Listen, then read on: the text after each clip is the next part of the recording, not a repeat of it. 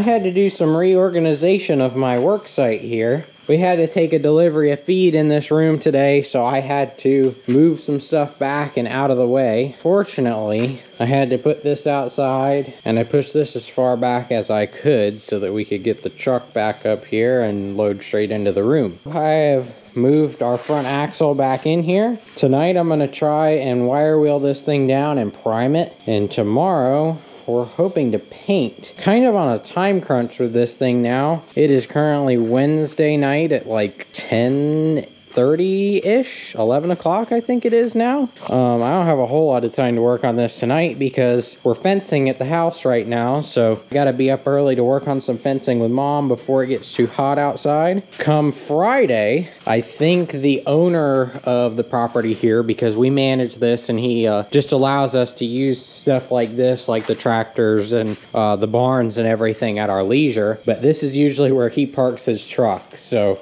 he is probably going to want to park in here in the garage bay area. So I need to try and get this done by Friday night so that it's all out of the way and uh, it won't conflict with uh, his garage space. So that means we'll probably have to put the deck on later on after he's gone. We'll do that under here where it's a little bit cooler out of the elements and I've got some light. But we're gonna get started on this tonight. I hope to finish this back axle, the stake, the drawbar piece right there and the big drawbar tonight. I'm gonna apply, apply my last coat of green on them i try not to spray both sides at the same time. I try to spray one side of it and then finish off the other. So but this is a massive massive difference. You can see it here just in the frame the frame of the video that is that these two frame pieces look entirely different. I just ignore the white bits that we haven't gotten painted but that green looks a lot better than that green. I can't wait to see the whole thing come together and uh, see how it looks. I did identify something pretty cool here on this uh, front frame piece, front axle. It's hard to tell a lot of the stuff on here on, on this old wagon as far as decals and what's rubbed off but I can tell here by kind of the particles and shapes of some of this I know it might be impossible on video but I can see some yellow here and what looks like used to be letters. So that, I assume, is where the John Deere logo was on this front axle. So I marked that down in my notes. I have brand new decals for this thing that should be an exact match to it. So I will be sure to add a logo right there on that front axle. Enough blabbering. It's late at night and uh, I got a lot to do tomorrow as well. So I'm going to get to work and try and finish up what I can tonight before it gets too late.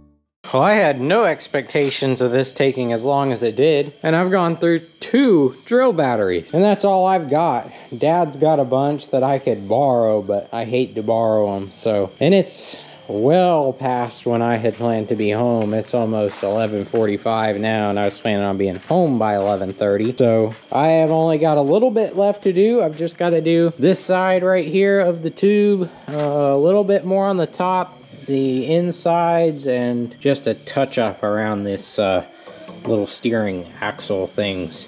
Otherwise, it's pretty much done. So it surprises me how well that wire wheel knock them all, knock all that rust off of there. But unfortunately, didn't get to any of the painting tonight. But that'll be in this video, so just can't do it tonight. So y'all see me in the morning. All right, so we're over here at the wagon and I'm gonna show y'all our second struggle we've been dealing with in this project. So the wagon's got stakes on it that you can bolt your wood to so that you can create a deck on it or bolt your gravity wagon or whatever you wanna do to it. And one of those stakes was bent up. I showed that in the first video and the reach pole was bent up. So I contacted a mobile welder. He came out, took a look at it, said, oh yeah, we can do that three or four weeks went by and he just couldn't seem to get out here. So I said, okay, uh, I got to move on to somebody else because I got to get this project rolling again. I'm, I, I, hate to do that to you, but I, I can't wait forever for y'all to show up. So he didn't end up doing the project for me. I actually took both components into town to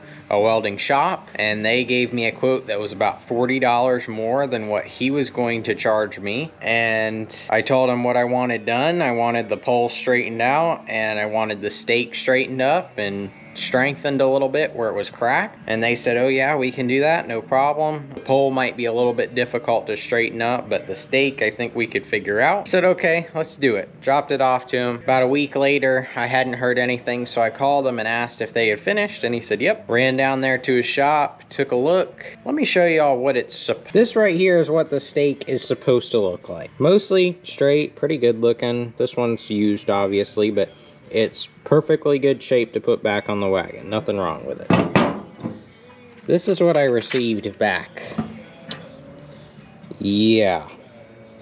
Not sure how easy that is to tell, but that is still severely messed up and I'm pretty sure it's worse than when I dropped it off to them. So I'm not gonna trash them in my video. I'm not into that sort of deal. I did let the owner know how I felt about it and that I probably wouldn't be back. I was kind of disappointed with their work. He still made me pay the $200 and did not give me a return on anything. So that's what they did to the stake. My reach pole, however, I'll commend them on it. They they did better over here in this department. Now, when you turn the pole up the right way, let's see here, the uh, the bend in it is not nearly as noticeable and it's much straighter so I think that is that's fixed enough for me to put it in the middle there without uh, without it causing problems I think it's not going to cause any issues with trailing weird or excessive tire wear or anything odd. So we're going to go ahead and use the pole. They did okay on that. I'm pleasantly surprised with uh, with how well it came out. It's not perfect. It's not perfectly straight like I would have wished, but um, it, it'll work. It's good enough for a farm wagon that doesn't go over 25. Very disappointed with the stake.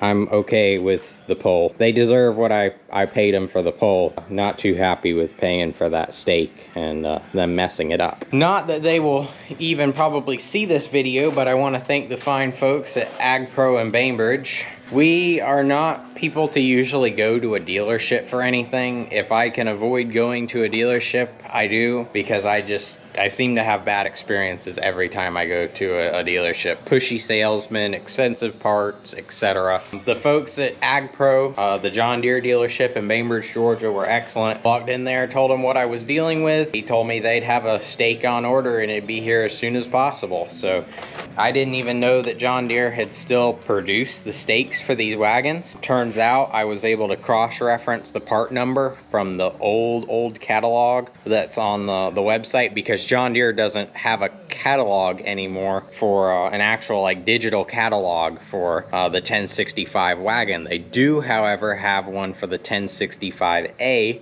and it gives you the option to order it through a dealer. I was able to cross-reference the number between the 1065 and the 1065A and find out that they both use the same stakes. So uh, he got me one ordered and it should be here. He said the closest will be this coming Wednesday. The latest will be about two weeks from then. So he said they're really short staffed at their warehouse. Who isn't short staffed right now? It seems like I hate all the excuses, you know, it's happening. So either way, the folks at the dealership were uh, excellent. So and I really appreciate their help. So I'm sure I'm going to be back to them quite a bit when we start working on the square baler that this uh, wagon is going to go behind. So there's our struggles.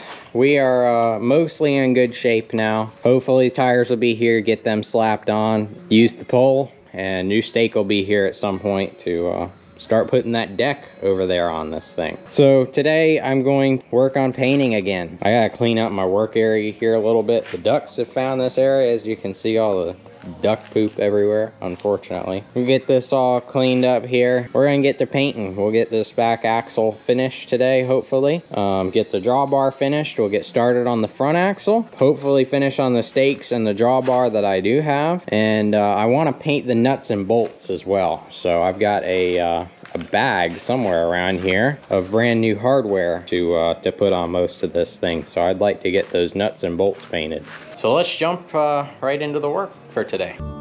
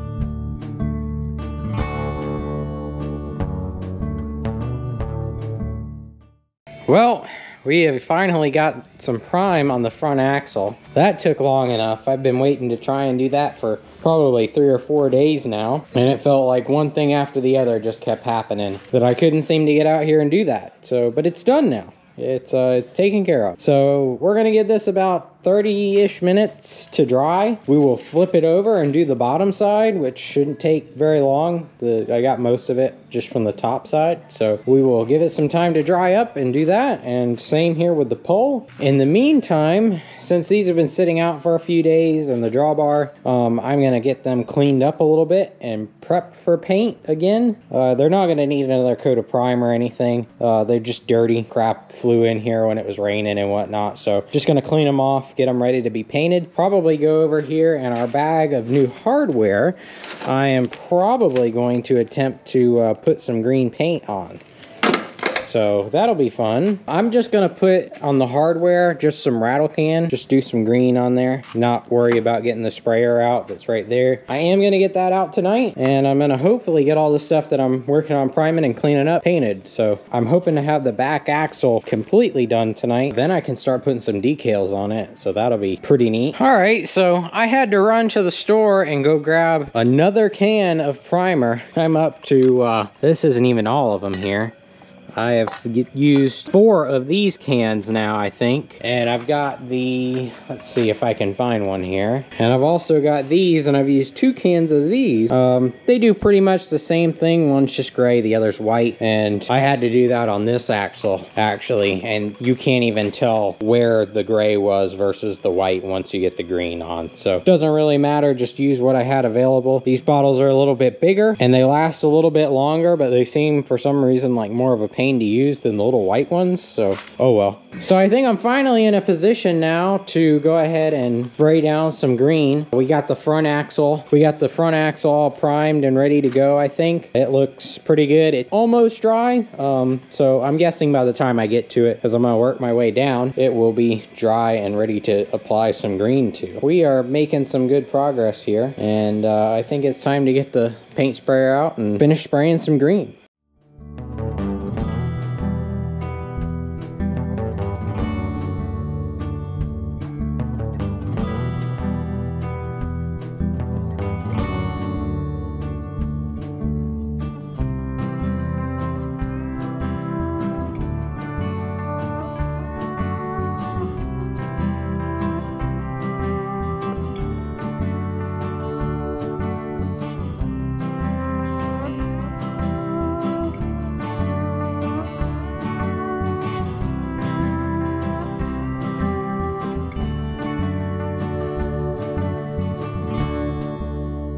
Man, that is always the most fun and quickest part is actually putting on the paint it seems like. Wire wheeling it down is no fun and priming it isn't all that fun. It doesn't seem to go very fast but it is a crazy transformation once you get this green on. So we got the back of that axle finished i think. The top of this pole this drawbar is painted on both sides now and we've got the bottom side of this front axle so, and also did the stakes and the front of the drawbar over there, the actual hitch itself. A majority of this thing is done. So all I've got to do tomorrow, flip this axle over, uh, paint the underside of it real quick. Well, what would be the top, what should be the top, and uh, finish this pole. We will be done pretty soon with this thing, honestly. I think come tomorrow night, we're just going to be waiting on tires uh, for the wheels that state before we can go ahead and put the deck on. So everything is pretty much painted now. Feels like it has taken forever, which it kind of has. It's taken about a week to do this. About a week and a half, actually, to get this thing painted down, so. So mom had suggested that I show y'all how we clean my hands after I've been painting. They aren't that bad tonight, but there's definitely some green and I look like the Hulk here. I got some green hair going on. So, what is this concoction that you've made up for me? That is a mix of pure baking soda mixed with um, orange oil and uh, Thieves household cleaner. This stuff works magic, especially when you add some orange oil to it. So I take a handful, about like this,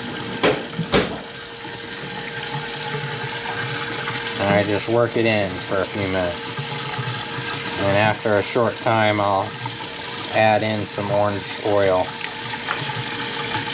But you can already see it starting to rub off in certain places and this has been on me for a good 30 minutes. It's actually started to like dry up. So this is not fresh paint. Put some orange oil in there. I'm working on it. That's okay. There we go.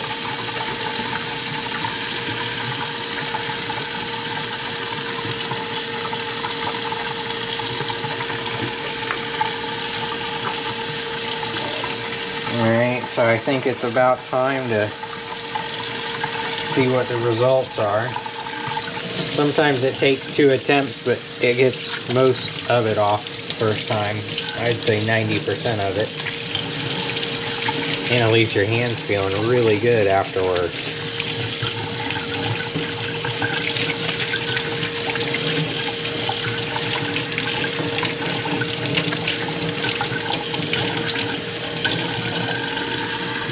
Say it worked pretty well.